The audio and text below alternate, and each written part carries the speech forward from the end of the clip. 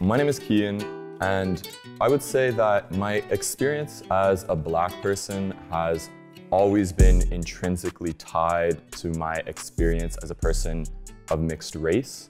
My dad is a black Jamaican man, and my mom is a French Canadian woman. And it's been very interesting growing up, learning what it's like to be both of those. And I am both despite the fact that sometimes people and society tend to think or to act as if I'm only one or the other. So I grew up being raised by my mom in a predominantly white neighborhood. And because of the color of my skin and the difference between that and my environment, I've always felt black. I was probably only 10 or 11 the first time a kid asked me if I curl my hair. And I suppose it might be a bit hard to imagine now, I'm not exactly uh, running with a mini afro anymore, but no, my hair grows kinky.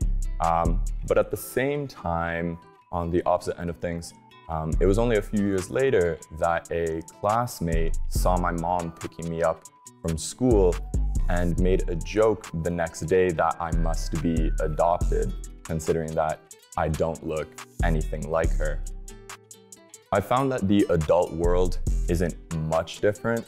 It's just the things people have to say are more subtle.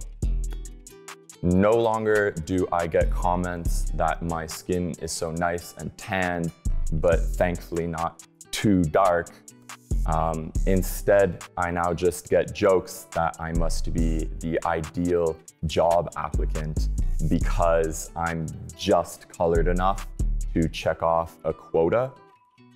Um, nobody ever jokes with me anymore that I'm speaking white. Now, instead, it's become more appropriate to somehow say the highlight when I'm sounding like rapper X, Y, or Z.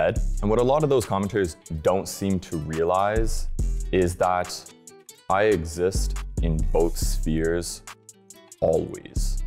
If your underhanded compliment is a celebration of my color, but is simultaneously an insult to my blackness, I won't take that well. I do find, however, that things are improving, if not slowly.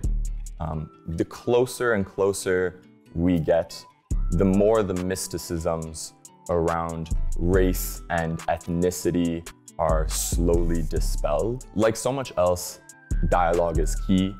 So long as I don't need to play the guess where the ethnically ambiguous person is actually from game.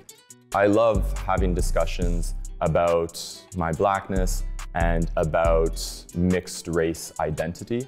I love who I am, I love what I am, and obviously then, I love sharing that.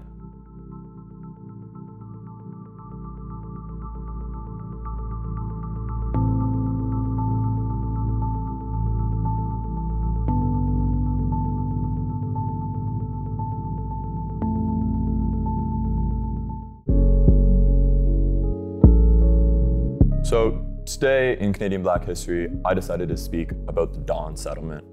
So often when we think of prominent Black communities in Canada, we tend to only think of Africville, the famous town in Nova Scotia. But there were so many other important Black communities in Canada, including the Dawn settlement uh, in what is now Dresden, Ontario. Founded in 1842, the idea for this place uh, came from the mind of Josiah Henson, a man who had escaped slavery in the US.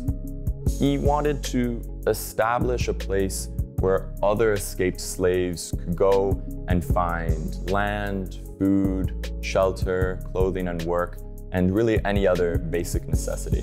With some support, Henson managed to create the settlement and also build a school named the British American Institute, open to all ages, the school doubled as a place to train teachers, but also provided general education and trade and labor instruction to those in the community.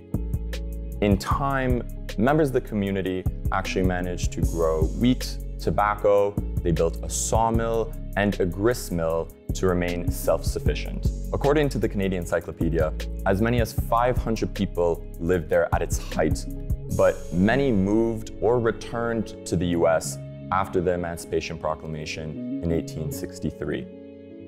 This, coupled with financial and administrative issues, caused a decline in the settlement.